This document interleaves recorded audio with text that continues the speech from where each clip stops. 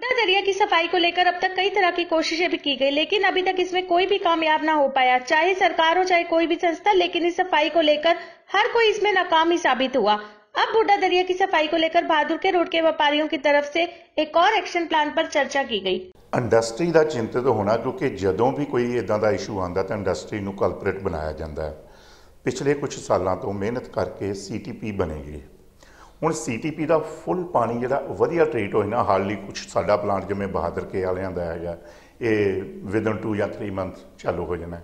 Tajpur road ਦਾ ਵੀ within this year ਨਹੀਂ ਤਾਂ ਜਨਵਰੀ 20 ਤੱਕ ਹੋ ਜਾਊਗਾ। ਉਸ ਤੋਂ ਬਾਅਦ ਕੀ? ਅੱਜ ਇੰਡਸਟਰੀ ਦਾ ਪਾਣੀ ਟ੍ਰੀਟ ਹੋ ਗਿਆ ਤਾਂ ਪੋਲਿਊਸ਼ਨ ਤਾਂ ਫਿਰ ਵੀ ਖਤਮ ਨਾ ਹੋਇਆ। ਉਹ ਇੱਕ ਸੋਚ ਲੈ ਕੇ ਅਸੀਂ ਪਿਛਲੇ 3 ਮਹੀਨੇ 4-5 ਮਹੀਨੇ ਤੋਂ ਇਹ ਵਰਕਿੰਗ ਕਰ ਰਹੇ ਸੀ ਵੀ ਇੱਕ ਤਾਂ ਸ਼ਹਿਰ ਬਹੁਤ ਜ਼ਿਆਦਾ ਡੇ ਬਾਈ ਡੇ ਕੰਜੈਸਟਡ ਹੁੰਦਾ ਜਾ ਰਿਹਾ। ਔਰ ਇੱਥੇ ਟ੍ਰੈਫਿਕ ਦਾ ਇਸ਼ੂ ਬਹੁਤ ਜ਼ਬਰਦਸਤ ਹੈਗਾ। ਕਿਉਂ ਨਾ ਇੱਕ ਇਹ ਲੈਂਡ ਜਿਹੜੀ ਪਈ ਹੈ ਨਾਲੇ ਦੇ ਵਿੱਚ, ਜਿਹੜਾ ਅਨਕਰੋਚਮੈਂਟ ਵੀ ਕੁਝ ਹੈਗੀਆਂ ਸਾਈਡ ਬਾਈ ਸਾਈਡ ਵੀ ਇਹਦੀ ਇੱਕ ਪੱਕੀ ਡਰੇਨੇਜ ਬਣਾ ਕੇ ਤੇ ਉੱਪਰ ਉਹਦੇ ਰੋਡ ਬਣਾਈ ਜਾਵੇ। ਤੇ ਇੱਕ ਤਾਂ ਸ਼ਹਿਰ ਨੂੰ ਉਹ ਟ੍ਰੈਫਿਕ ਕੰਟਰੋਲ ਇੱਕ ਲਾਈਫ ਲਾਈਨ ਬਣ ਜਾਣੀ ਹੈ। ਤੇ ਦੂਸਰਾ time plotting wise spot wise ਉੱਥੇ ਸ਼ਾਪਿੰਗ ਕੰਪਲੈਕਸ ਵੀ ਬਣ ਜਾਣਗੇ। ਤੇ ਇਹ ਇੱਕ ਸਿਟੀ ਦੀ ਪੂਰੀ ਲਾਈਫਲਾਈਨ ਬਣ ਜਾਣਗੀ। ਇਹਦੀ ਬਹੁਤ ਵਧੀਆ ਐਗਜ਼ਾਮਪਲ ਹੈਗੀ ਆ ਏਮਸ ਦੇ ਕੋਲ। ਇੱਕ ਨਾਲਾ ਚੱਲਦਾ ਸੀ ਗੌਤਮ ਨਗਰ।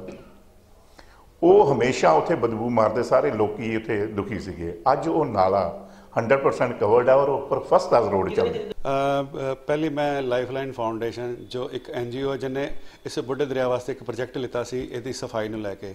ਤੇ ਇਹਦੇ ਵਾਸਤੇ ਅਸੀਂ ਆਪਣੇ ਸਟੈਪ ਨੂੰ ਅੱਗੇ ਵਧਾਉਂਦੇ ਹੋਏ ਚਾਹੇ ਸ- ਸ਼ਹਿਰ ਦੀਆਂ ਬਾਕੀ ਐਨਜੀਓਜ਼ ਤੇ ਨਾਮਧਾਰੀ ਬਾਬਾ ਜੀ ਨੂੰ ਨਾਲ ਲੈ ਕੇ ਇਸ ਮਿਸ਼ਨ ਨੂੰ ਅੱਗੇ ਵਧਾਇਆ। ਤੇ ਅੱਜ ਅਸੀਂ ਜਦੋਂ ਦੇਖਿਆ ਵੀ ਜਦੋਂ ਤਾਜਪੁਰ ਪੁਲੀ ਦੇ ਕੋਲ ਸਫ਼ਾਈ ਸ਼ੁਰੂ ਹੋਈ, ਤੇ ਲੇਕਿਨ ਰੋਜ਼ ਉਸੇ ਤਰ੍ਹਾਂ ਚਾਹੇ ਉਹ ਡੈਰੀਆਂ ਦਾ ਗੋਹਾ ਹੋਵੇ, ਚਾਹੇ ਡਾਈਂਗ ਦਾ ਵਾਟਰ ਆਂਦਾ, ਅਨਟ੍ਰੀਟਡ ਪਾਣੀ ਗਿਰਦਾ ਸੀਗਾ। ਤੇ ਪਰ ਲੇਕਿਨ ਉਹ ਰੋਜ਼ ਉਸੇ ਤਰੀਕੇ ਪੋਜੀਸ਼ਨ 'ਚ ਪਹੁੰਚ ਗਿਆ ਵੀ ਉਹਨੂੰ ਸਾਫ਼ ਕਰਨਾ ਮੁਮਕਿਨ ਨਹੀਂ ਲੱਗਿਆ। ਤੇ ਇਸ ਕਰਕੇ ਸ਼ਹਿਰ ਦੀਆਂ ਬਾਕੀ ਏਰੀਆ ਵਿੱਚ ਜਾ ਕੇ ਸਫ਼ਾਈ ਸ਼ੁਰੂ ਕਰ ਦਿੱਤੀ ਬਾਬਾ ਜੀ ਵੱਲੋਂ। ਪਰ ਜੋ ਸਮਝਣ ਦੀ ਗੱਲ ਇਹ ਹੈ ਵੀ ਇਹ ਜੇ ਸਾਫ਼ ਕਿਉਂ ਨਹੀਂ ਹੋ ਸਕਿਆ, ਕਿਉਂਕਿ ਇਹਦੇ ਪਿੱਛੇ ਸਾਡੇ ਲੋਕਾਂ ਦੀ ਕਮਿਟਮੈਂਟ ਨਹੀਂ ਹੈ। ਅਸੀਂ ਲੋਕ ਇਸ ਚੀਜ਼ ਨੂੰ ਚਾਹੁੰਦੇ ਹੀ ਨਹੀਂ ਵੀ ਇਨਸਾਫ਼ ਹੋਵੇ। ਸਰ, ਪਹਿਲਾ ਪ੍ਰਸ਼ਨ ਤੁਹਾਡਾ ਵੀ ਡੈਂਗਾ ਨੂੰ ਜ਼ਿੰਮੇਵਾਰ ਕਿਹਾ ਜਾਂਦਾ ਬਿਲਕੁਲ ਗਲਤ ਹੈ। ਹਰ ਲੁਧਿਆਣੇ ਦੀ ਡੈਂਗ ਨੇ ਆਪਣੇ ਅੰਦਰ ਐਫਲੂਐਂਟ ਟ੍ਰੀਟਮੈਂਟ ਪਲਾਂਟ ਲਗਾਇਆ ਪਰ ਸੈਂਟਰਲ ਪੋਲਿਊਸ਼ਨ ਕੰਟਰੋਲ ਬੋਰਡ ਤੇ ministry of environment and forest ਦੇ ਔਰ ਐਨਜੀਟੀ ਦੇ ਆਰਡਰਾਂ ਦੇ ਮੁਤਾਬਿਕ ਉਹਨਾਂ ਨੇ ਕਿਹਾ ਵੀ ਅਸੀਂ ਕਾਮਨ ਐਫਲੂਐਂਟ ਟ੍ਰੀਟਮੈਂਟ ਪਲਾਂਟ ਲਗਾਈਏ ਜਿਹੜਾ ਕਿ ਪਹਿਲਾ ਨਾਰਥਰਨ ਇੰਡੀਆ 'ਚ ਪਹਿਲਾ, ਆਉਣ ਵਾਲੇ 2 ਮਹੀਨਿਆਂ 'ਚ ਸਾਡਾ ਬਹਾਦਰ ਕੇਰੇ ਦਾ 15 ਐਮਐਲਡੀ ਦਾ ਸੀਟੀਪੀ ਚਾਲੂ ਹੋਣ ਜਾ ਰਿਹਾ ਹੈ। ਤਕਰੀਬਨ 50 ਐਮਐਲਡੀ ਦਾ ਸੀਟੀਪੀ ਫੋਕਲ ਪੁਆਇੰਟ ਦਾ ਚਾਲੂ ਹੋਣ ਜਾ ਰਿਹਾ ਔਰ ਤਕਰੀਬਨ 50 ਐਮਐਲਡੀ ਦਾ ਸੀਟੀਪੀ ਤਾਜਪੁਰ ਰੋਡ ਦਾ ਵੀ ਚਾਲੂ ਹੋਣ ਜਾ ਰਿਹਾ ਹੈ। ਤੇ ਇੰਡਸਟਰੀ ਦੇ ਜਿਹੜੀ ਬਾਰ-ਬਾਰ ਆਹ ਕਲੰਕ ਲੱਗਦਾ, ਉਹ ਹਮੇਸ਼ਾ ਵਾਸਤੇ ਖਤਮ ਹੋਣ ਜਾ ਰਿਹਾ ਨੰਬਰ 2 ਅਸੀਂ ਆਪਣੇ ਸ਼ਹਿਰ ਨੂੰ, ਆਪਣੇ ਦੇਸ਼ ਨੂੰ ਬਹੁਤ ਪਿਆਰ ਕਰਦੇ ਹਾਂ। ਅਸੀਂ ਇੱਥੇ ਜੰਮੇ ਆ ਪਲੇ ਆ ਵੱਡੇ ਹੋਏ ਆ ਕੋਈ ਵਕਤ ਸੀਗਾ, ਅੱਜ ਤੋਂ ਮੇਰੀ ਉਮਰ 47 ਸਾਲ ਹੈਗੀ ਹੈ, ਜਦੋਂ ਮੈਂ 6-7 ਸਾਲ ਦਾ ਹੁੰਦਾ ਸੀ, ਆਪਣੇ ਪਿਤਾ ਜੀ ਮੈਨੂੰ ਕਈ ਵਾਰੀ ਇਸ ਬੁੱਢੇ ਦਰਿਆ ਤੇ ਨਹਾਉਂਦੇ ਹੁੰਦੇ ਸੀ ਔਰ ਖੁਦ ਵੀ ਨਹਾਉਂਦੇ ਸੀ। ਔਰ ਅੱਜ ਦੇਖ ਕੇ ਬੜਾ ਦੁੱਖ ਲੱਗਦਾ ਵੀ ਅੱਜ ਆਹ ਗੰਦੇ ਨਾਲੇ ਦਾ ਰੂਪ ਲੈ ਲਿਆ।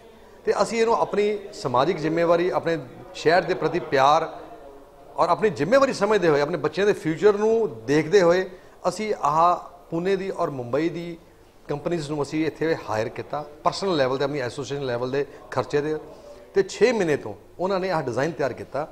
ਆਹ ਟੋਟਲ 2500 ਕਰੋੜ ਦਾ ਪ੍ਰੋਜੈਕਟ ਹੈਗਾ, ਜੋ ਕਿ 2500 ਐਮਐਲਡੀ ਪਾਣੀ ਨੂੰ ਕੈਰੀ ਕਰੇਗਾ। ਔਰ ਟੋਟਲ ਆਰਸੀਸੀ ਇਸ ਦੇ ਉੱਪਰ ਸੜਕ ਬਣਾਈ ਜਾਏਗੀ 80 ਫੁੱਟ ਚੌੜੀ ਔਰ ਇਸ ਦੇ ਉੱਪਰ 25 ਫੁੱਟ ਦੇ ਹਾਈਟ ਦੇ ਉੱਤੇ ਲੈਂਟਰ ਪਾ ਕੇ ਫਿਰ ਇੱਕ ਸਲੈਬ ਪਾਈ ਜਾਏਗੀ ਔਰ ਪੂਰੀ 11 ਕਿਲੋਮੀਟਰ ਲੰਬੀ ਔਰ 80 ਫੁੱਟ ਚੌੜੀ ਪਾਰਕਿੰਗ ਦਿੱਤੀ ਜਾਏਗੀ 12 ਫੁੱਟ ਉੱਚੀ। ਔਰ ਉਸ ਦੇ ਉੱਪਰ ਦੋ ਕਮਰਸ਼ੀਅਲ ਕੰਪਲੈਕਸਸ ਬਣਾਉਣ ਦਾ ਇਹਦੇ ਵਿੱਚ ਅਸੀਂ ਪ੍ਰਪੋਜ਼ਲ ਅਸੀਂ ਇਹਦੇ ਵਿੱਚ ਰੱਖੀ ਹੈਗੀ ਹੈ। ਤਾਂ ਕਿ ਜੋ ਕੰਪਨੀ 'ਚ ਇਨਵੈਸਟਮੈਂਟ ਕਰੇਗੀ ਉਹ 30 ਲੱਖ ਸਕੁਅਰ ਫੁੱਟ ਦੇ ਦੋ ਜਿਹੜੇ ਕੰਪਲੈਕਸਸ ਹੈਗੇ ਨੇ ਉਸ ਨੂੰ ਅ, 60 ਲੱਖ ਸਕੁਅਰ ਫੁੱਟ ਏਰੀਆ ਨੂੰ ਉਹ ਸੇਲ ਆਊਟ ਕਰਕੇ ਆਪਣਾ ਜਿਹੜਾ 2500 ਕਰੋੜ ਰੁਪਏ ਦਾ ਖਰਚੇ ਨੂੰ ਇਨਵੈਸਟਮੈਂਟ ਨੂੰ ਮੀਟ ਆਊਟ ਕਰੇਗੀ।